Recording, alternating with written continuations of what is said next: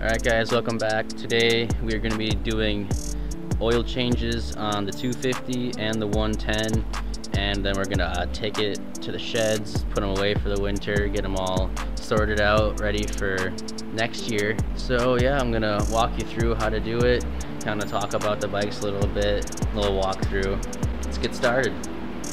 Alright, so first we're to start off with the KLX 110. Uh, nothing much to it. We've got different seat cover, different plastics as you can tell. They're Senge graphics. You can custom make whatever colors you want. So I chose this one, blue camo. And then we got light bar. It's pretty bright. Pro taper grips. We've got for mods, like performance, the only one we got is this knockoff T4 Piranha exhaust. It was like a hundred bucks on Amazon. It runs great. We got it jetted with a 95 main jet and then stock pilot. Uh, down here, a little lower, we have a BBR frame brace and then uh, Twin Bros heavy duty foot peg cradle. And then we also have these DRC wide foot pegs, which are great for the bigger riders.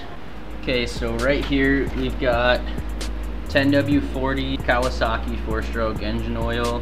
These uh, small bikes only take a quart, so this is what we're gonna be using. Kawasaki oil filter. I don't know if we're gonna put this in or not. Got our oil container for the old oil. All right, so we got a 17 millimeter deep well. Okay, so we popped it loose. And you wanna grab your oil container or catcher and do the rest by hand. There we go. So we got nothing on the end of this, which is good. That means there's no metal in the motor.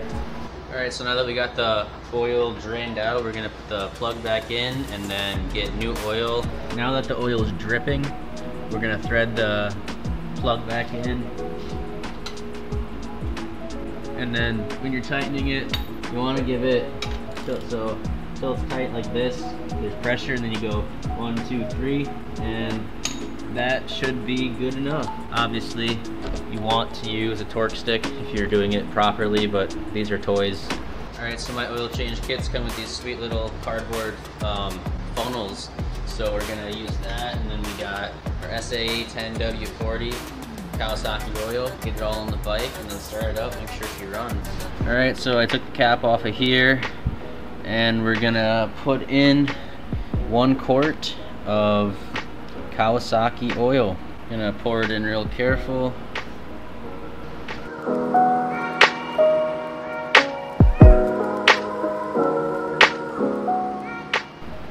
Perfect.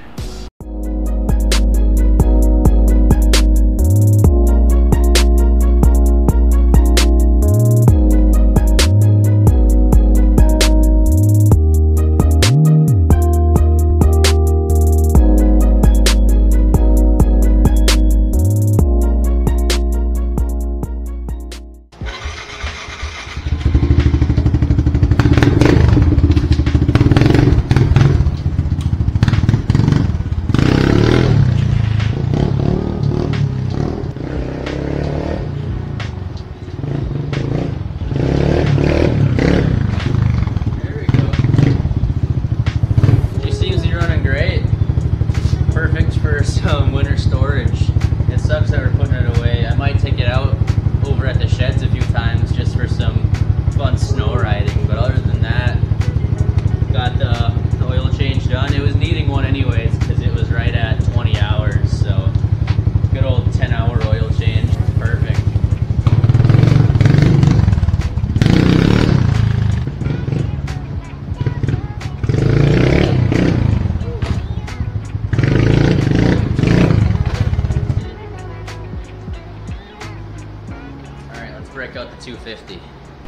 Alright, so the 250 needs an oil change as well. This one only takes like 3 fourths of a quart because the motor oil and the gear oil is separate, which is pretty cool because it's, uh, it's a race bike. So what I got here is a 2016 Honda 250R, 53 original hours on it.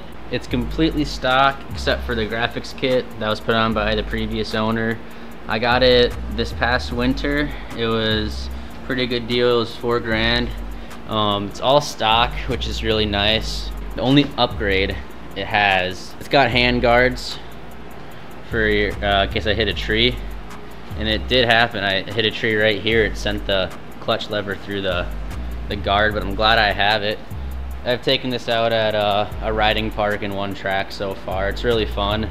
Hoping to get some more content with it next year. I never was able to film with it, with any of the bikes actually this year. So we'll do an oil change for the winter and then maybe do a little bit of riding right here. All right, I don't know what size it is, so I brought over half the toolbox. It's a 12 millimeter, a lot different than the Kawasaki. So with this one, I have to replace a crush washer because this bike's been leaking oil all over my floor for the past month and a half. Also no uh, metal on the bolt, which is good. All right, well now that it's dripping, we're gonna put the, the bolt back in, but this time I'm gonna put a crush washer because it's been leaking oil and I realized there wasn't a washer on the drain bolt. All right, so we're gonna do the same thing.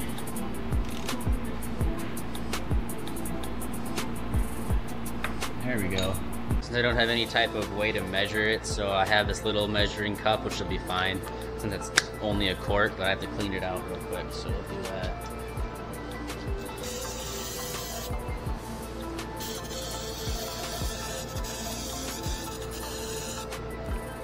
Alright, so we are gonna put in 0.85 liters of the Honda oil right here.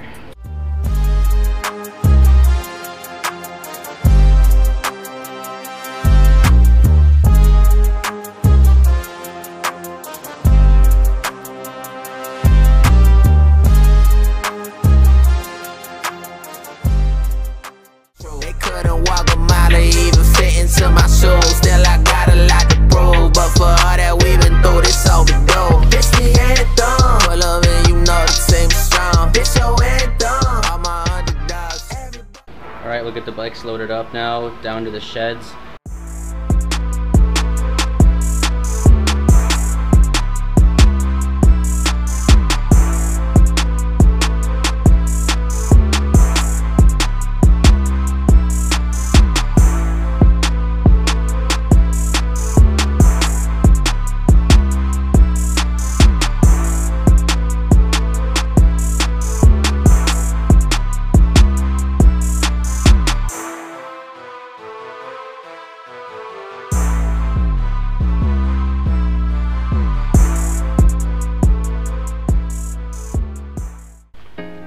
So now we're gonna head to my sheds, drop off the bikes, and I'll probably wrap up the end of the video. See you guys on the road.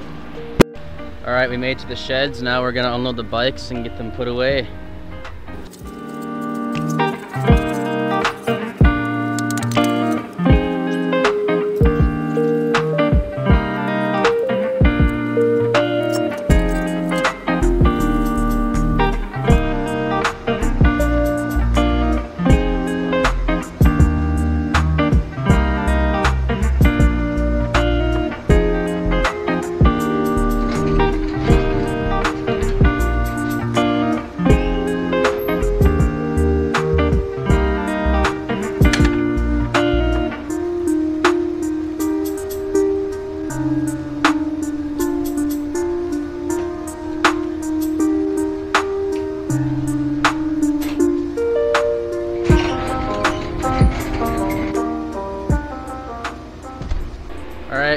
Of daylight so I didn't really get a good um, video inside, but both the bikes are put away. We'll get the 250 down here probably sometime next week. Thanks for watching. That's the end of the video. I'll see you guys in the next one.